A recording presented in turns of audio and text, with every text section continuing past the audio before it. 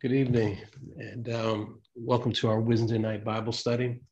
Uh, my name is Carlos Senior. I'm the lead pastor of New Hope uh, St. Pete, and uh, so glad to have you join us tonight.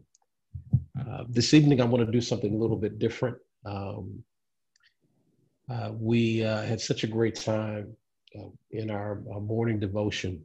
I want to share tonight some of the the thoughts from that time of devotion and um, and maybe give us something tonight to think about, um, and certainly some things to consider. Our thought tonight comes from uh, the book of First John, chapter five, uh, verses six through twelve. Uh, but in particular, uh, I want to focus on um, two verses, uh, eleven and twelve. And verses eleven and twelve say this, um, and this is the testimony that God has given us eternal life, and this life is in his Son. The one who has the Son has the life. The one who does not have the Son of God does not have the life. Um, one of the things that uh, that I know that I tend to do sometimes is I tend to uh, to maybe uh, to complicate things, maybe sometimes even overcomplicate uh, them. Uh, it is often born out of my need uh, to bring a nuanced approach uh, to the problems and challenges and issues that I face. I think, like many of you, uh, you we recognize um, over time uh, that the answers to many of the questions that we have are not always black and white. Uh, they are not always simple. I mean, it's important for us uh, to uh, to bring um, again sort of a new a nuanced um, um, um sort of mindset and, and, and, approach and consideration uh, because we, we want to be effective problem solvers and um, but but there is sometimes the potential to maybe overcomplicate um, um, the constructing of solutions uh, as we are uh, seeking to solve problems. And sometimes when we overcomplicate uh, that process, it, uh, it in fact becomes a way of avoiding taking any real action. Um, and so while we are analyzing, um, um, sometimes there's the paralysis of analysis. So I want to talk tonight just a little bit about uh, maybe simplifying our approach, especially uh, as it relates to our approach uh, to how we pursue and how we perceive God. Um, I want to talk about how uh, maybe a, a, a, key area where you and I can show courage, uh, where we can be intentional, um, an area uh, that can serve as um, a compass, uh, a north star, a guiding, a guidepost, uh, as we are working out our salvation with fear and trembling. Uh, John, and so so before I talk about this particular text, I want to provide just a little bit of context. And so the writer of this letter, uh, John, uh, who was an apostle of Jesus, uh, one who in the scriptures is called the apostle whom Jesus loved in the Gospels. Uh, John, uh, in the in the advanced age of his ministry, is writing to a particular uh, congregation, a locale, um, who have come to complicate uh, the message of the gospel. Uh, their ha- their community has been infiltrated by false teachers and um, and these false teachers have caused or created division within uh, that community by spreading incorrect uh, doctrine about Jesus's humanity and divinity. And so, without an understanding, a clear understanding of uh, both Jesus's humanity and um, and also his divinity, uh, that community is uh, in danger of diminishing uh, the saving work of the Lord Jesus and confusing the message of the gospel. And so it's in that context um, uh, that John is speaking. And he spends uh, a significant portion of this letter addressing both the breadth, the depth, um, and the impact of the ministry of the Lord Jesus. And not only in terms of what Jesus comes to, to accomplish, both as man and God, uh, but certainly the impact of what he has done in the lives of ordinary believers. Uh, he talks uh, throughout, uh, so throughout the letter, John talks about certain things like uh, how uh, the ministry of Christ has produced a sensitivity to sin in the life of the believer, um, how that sensitivity has led to a decreasing pattern of sin in the believer's life, um, how the believer through the ministry of Christ experiences answered prayer.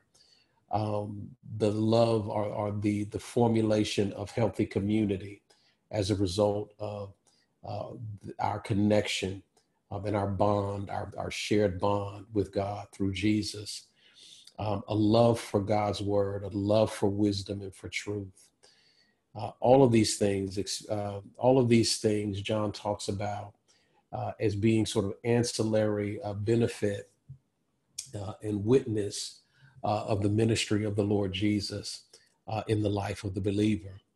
And so, as John is is is talking about all of these things, he comes, he arrives at this sort of uh, climactic moment uh, in verses 11 and 12 uh, as he talks about again. Um, he's talking into a, context, a context where, uh, where, where, where where the, the, the, false teachers that have infiltrated that community uh, have, have, in a sense, overcomplicated uh, something that God made very simple uh, through the ministry of the Lord uh, uh, Jesus. Uh, it is in that context where John speaks, makes this statement about belief. And this statement that he makes is, I mean, it is, it is, it is simple, it is clear, uh, it is concise, uh, but it is also decisive. He, he, he leaves no, um, no room for question. And this is the testimony, John says, that God has given us eternal life, and this life is in his Son. The one who has the Son has the life. The one who does not have the Son of God does not have the life. And so, as John is leading his um, sort of uh, uh, doubting, uh, maybe even skeptical recipients uh, of this letter back to truth, he reminds them, he shows them the simplicity of the solution that God um, has provided for humanity. That through the Son, through the Son of God, God has provided a way out of sin. Uh, he's provided an avenue uh, for us to escape our brokenness, uh, to find healing, to find peace, um, to rediscover a healthy community, a healthy mindset, a healthy sense of self, a healthy, healthy sense of others. And the simple, uh, uh, the simple truth uh, that John offers, right, in, in, in terms of the context of the gospel, that um, that whoever has Jesus, through Jesus, has now uh, been given access to life.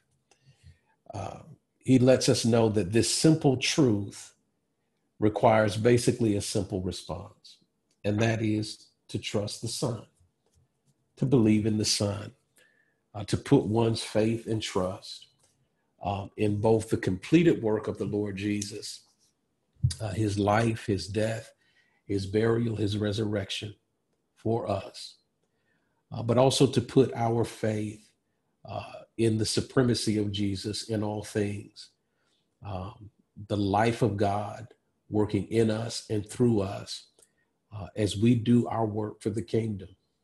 Um, I think in a world that is, again, um, wrestling with some very complex um, and, again, nuanced issues uh, and concerns, uh, it is very easy for us to get swept up into, into the complexity of those causes and, and, and, and questions. Uh, and and lose the sure footing that God has given us in the gospel. Um, and so I'm certainly not advocating against being thoughtful, uh, being um, a conscientious person, um, asking good questions, um, considering um, all of the various uh, uh, potentialities uh, of a situation being a critical thinker, right? All of these things, the Bible says, with all that getting, get understanding. Uh, but all I'm saying is that even as uh, you and I explore, uh, let us make sure uh, that our anchor holds and grips the solid rock. Um, that even as we survey the sea uh, and we study the waves, let's make sure that our footing uh, is sure uh, as we stand uh, on the ark of safety. Uh, God, the same yesterday, today, and forever. Um, and so, with all that is going on around us, uh, with life's various vicissitudes and, um, and alterations, it is a comfort to know uh, that God is, was, and will be available to us through the ministry of the Lord Jesus. And let me say one, let me say one additional thing. Um, one of the com- complexities that we are sometimes confronted with, especially as it relates to faith, uh, is the pushback against exclusivist claims. Yeah man i i don't do religion or i don't do christianity or i don't do this or that um, because you know it's just impossible for any one any one way to be the only way. And the only thing that i, I you know I, I, would just say to you uh, to maybe consider this is that life has been the way that god has constructed life is that you and i can only travel one path at a time. And so the moment that a person chooses a particular path to walk, whether it is, uh, you know, our faith or some other faith or no faith at all, uh, you have already then at that point um, made a claim, you made a choice or a claim um, that now has become exclusive for you. No one can walk more than one path at a time. And what John's argument is in this text to these believers, and and certainly it is the conviction that I hold, and and it is it is a a journey that I want to encourage those who are in to continue, and those who maybe uh, are skeptical and looking from the outside in would invite you to. Um, is this journey with God through Christ? Um, it is not to say that it is always easy, not to say that there aren't challenges. I love uh, what my boy uh, uh, uh, Lecrae says. When I got saved, God didn't make me any taller. You know, He didn't. Uh, he, he, didn't wipe away. Uh, he didn't wipe out my debt uh, or, or, or cancel out all my trouble. But what He did do was He He made me clean. Um, uh, he showed me the, the intrinsic value and worth that my life has. Um, that he that that you and I are image bearers, made in the image of God. Uh, that when that image was marred, he loved us so he loved us so much that he came from heaven to earth to rescue us and to ransom us uh, from the enemy. Um, and so and so what I found in faith uh, are the things that I need to be able to show up every day um, in the spaces that I'm called to show up in and show up in the way that I need to. Um, that in Him I live and move and have my being.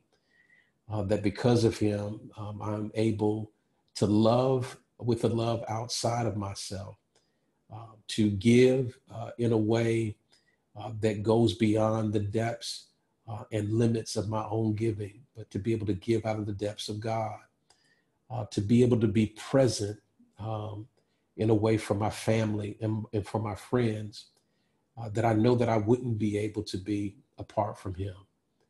And so, again, uh, sometimes in a world that is filled with complexity, my friends, it's important for you and I um, to keep it simple. And with that, let me close with a word of prayer. God, again tonight, we are grateful for the ministry of the Lord Jesus. We are grateful, Father, that it is through him, again, that we live and move and have our being. That you supply all of our, our, our needs according to your riches and glory, so that we in turn are able to meet the needs of others. Tonight, God, we thank you that you are the God of all comfort. And so, as we have received comfort from Christ, we in turn are able to provide comfort for all of those that stand in need of comfort. We're grateful, God, that this is not a meritocracy, that what you have done for us and even what you continue to do for us is not earned, it's not deserved, but it is given out of the abundance of your grace and your care and your concern for your creation. Our prayer, then, God, is that you would help us to walk worthy, to walk worthy of the love that you've shown, to walk worthy of the gifts that you have given, and to be fully pleasing to you. Our prayer, God, is that our walk and our our desire um, to be faithful is not born out of out of some misguided need for acceptance. You have already accepted us. That it is not born out of some broken need uh, to feel loved. You have already loved us apart from our performance. But we pray, God, that as we work, as we work in the world, as we serve, as we live, as we love, that we would do all of those things out of the strength of the love that you've provided and that you continue to provide. That we know and sense that we are forgiven. That we know that we have been healed and that we are being healed. That we know we have worth and value.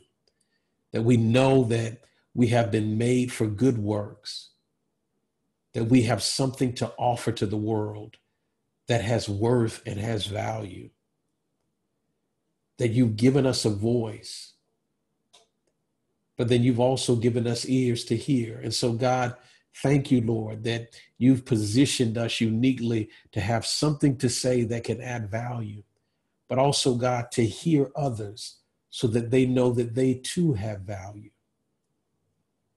We pray, God, be with us in this space. Be with us in this moment when there is such cataclysmic change happening all around us. And, and so much of uh, our systems and institutions are, are moving uh, in very dynamic ways. Our prayer, God, is that as the ground seems to be shifting underneath foot, that we would be settled, stable, established, rooted and grounded in the work, the completed and ongoing work of the Lord Jesus in our lives. Lord, we love you. We bless you. We thank you for all things. In Jesus' name, amen. Family, we love you. We thank God for you. I pray that, uh, this Bible study has been a blessing to you. If you're not already, please subscribe to our channel. Uh, follow us uh, on Facebook, and um, and um, and certainly um, we look forward to partnering with you as we work to serve our community. Uh, God bless.